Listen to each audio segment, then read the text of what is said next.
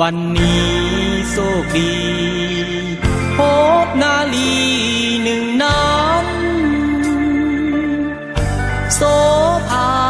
พองพัน ยิ่งกว่าจันวันเพ็ญ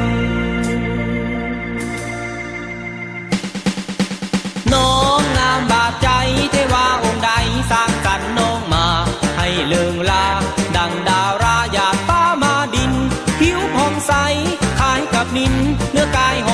ดังบุพาสว่างหญิงในโลกนี้หาใดจะมีเทียบเทียมแก้วตาอายจนลน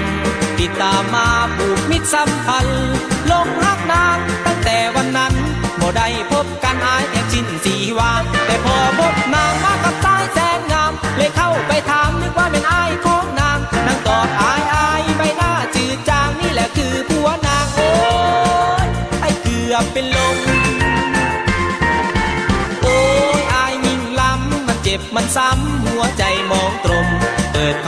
มานั่งดื่มสุราให้หายละทมน้อยบ่นานก็สุขสมพอดับอารมณ์ด้วยจังหวะทวิส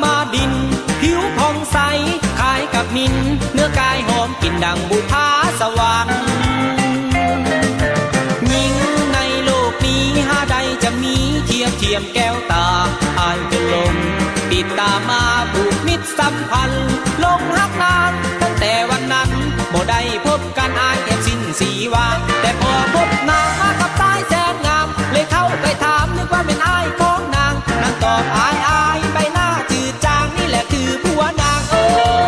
ยไอเกือบเป็นลมโอ้ยอายยิ่งล้ำมันเจ็บมันซ้ำ